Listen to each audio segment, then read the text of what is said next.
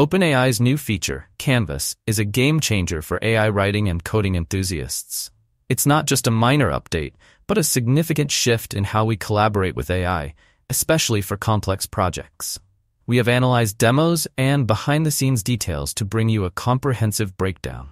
While ChatGPT excels at simple tasks like writing emails or generating basic code, it often struggles with longer, more intricate projects. OpenAI recognized this limitation and developed Canvas, moving beyond the traditional chat interface. Canvas introduces a side-by-side window approach, creating a shared workspace for you and the AI.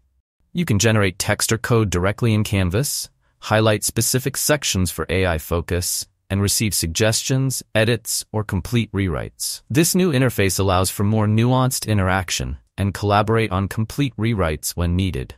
Canvas bridges the gap between human creativity and AI capabilities, streamlining the process for more complex, long-form projects. Canvas is shaking things up for ChatGPT users. Right now, it's in beta for Plus and Teams subscribers. If you're on Enterprise or Edu plans, you'll get your hands on it next week. Don't worry if you're on the free tier. You'll get access once it's out of beta. For now, though, you'll need one of those paid plans to play with it. So how do you fire up Canvas? It's pretty slick, folks. You can pick GPT-4 with Canvas from the model options, or ChatGPT will spot when you might need Canvas and pop it open for you. Say you're diving into a long piece of writing or tackling some tricky code, Canvas will show up ready to help. Or, if you're feeling impatient, just type, use Canvas in the chat. Now, for all you writers out there, this is where things get really cool. OpenAI's Daniel Levine showed off how Canvas handles emails. Instead of dumping text in the chat, it opens up in this nifty Canvas window. And that's when the fun begins. If you think your email's too long, no need to worry. There's this slider that lets you shrink it down or beef it up. Want to make a sentence friendlier? Just highlight it and ask ChatGPT to jazz it up. You can even throw in some emojis if that's your style. And if you suddenly need your masterpiece in French, boom, Canvas can translate it right there. They've added this final polish option. It's like having a eagle-eyed editor on speed dial. It checks your grammar, makes sure everything flows, and gets your draft ready for prime time. Working on something meatier, like a blog post, Canvas has got your back. It'll suggest tweaks, point out where you could improve, and can even rewrite whole chunks if you're stuck. And don't stress about messing up your original. You can flip between different versions of your text like a time-traveling editor. Now, let's dive into how Canvas is a game changer for coders. Trust me, this is where it really flexes its muscles. We've all been there, right? Using ChatGPT for quick coding fixes or whipping up some API code. But let's face it, it's been a bit clunky for bigger projects. Well, Canvas is about to change all that. Picture this. You generate some code, and bam, it pops up in the Canvas window. Want to add comments? There's a button for that. They've thrown in this review code button. ChatGPT will eyeball your entire script, pointing out bugs or suggesting tweaks. Need to add logs? Done. More comments? Easy. Got a stubborn bug? Canvas has got your back.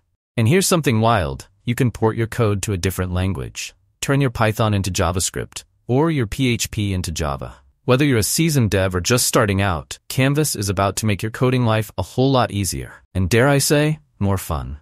Let's talk about how Canvas is shaking up the whole AI game. This isn't just about coding, it's about reinventing how we work with AI. But Canvas, it's taking all that back and forth and turning it into one smooth process. It's like the difference between sending a letter and having a face-to-face conversation. Alright, let's zoom out and look at the bigger picture here. OpenAI is not the only player in this game. Anthropic dropped their artifacts a few months back, and Google's Gemini is cooking up something similar. It's like a high-stakes race to build the ultimate AI workspace. And honestly, it's pretty darn exciting to watch. Here's a juicy bit of behind-the-scenes drama for you. Some of the brains behind Canvas, they're not even at OpenAI anymore. John Schulman, one of the big shots, jumped ship in August and headed over to Anthropic. Mira Murati, the former CTO, and Barret Zoph, who was VP of Research, both stepped down just before Canvas hit the scene. But here's the kicker. OpenAI doesn't seem phased. At a press event, their chief product officer, Kevin Weil, basically shrugged it off. He's not just confident, he's downright bullish about the future. He thinks 2025 is going to be the year AI goes mainstream in a big way. We're not just talking about fancy chatbots or coding assistants. Weil's picturing AI as digital agents going out and doing tasks on their own. Let's peek into the crystal ball and see what's cooking for OpenAI and Canvas. Spoiler alert, this beta version is just the tip of the iceberg. OpenAI's got big plans. They're aiming to make Canvas not just smarter, but downright intuitive. We're talking faster triggers that'll know when you need Canvas before you do. They're also working on cranking up the accuracy for detecting what needs editing. They're hinting at making coding edits more transparent. It's like they want to lift the curtain and show you exactly what the AI is doing under the hood. Now here's where it gets really nerdy, in a cool way.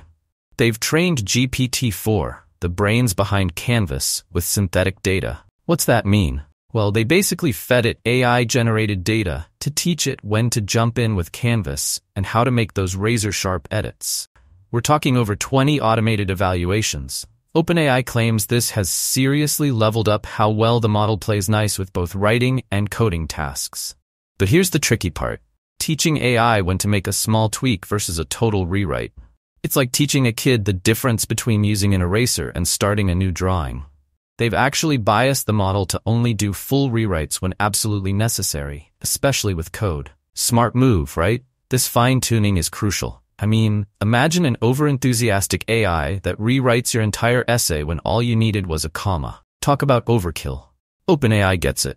They know no one wants an AI that goes overboard with edits or decides to play demolition derby with your hard work when a little touch-up would do. Alright, let's wrap this up with a bang. The AI world is on fire right now. OpenAI, Anthropic, Google, they're all duking it out. And let me tell you, it's getting hot. We're about to witness some mind-blowing innovations in the next year. It's like the space race, but for AI. Now, if Canvas has got you all fired up, and honestly, how could it not? Here's the deal. If you're on Plus or Teams, go ahead and dive in. Give it a whirl. For the rest of you, don't worry, you're not left out in the cold. Once Canvas graduates from beta, it'll be rolling out to everyone so keep your eyes peeled. Alright, that's all I've got for you today. But before you go, do me a solid. Smash that like button if you found this useful. And hey, if you haven't already, hit subscribe. Trust me, you don't want to miss what's coming next in this AI roller coaster.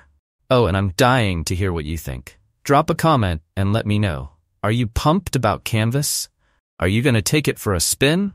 Your thoughts could spark our next big discussion. Thanks for hanging out with me today. Keep innovating Stay curious, and I'll catch you in the next one. The future of AI is here, folks, and it's looking pretty darn exciting.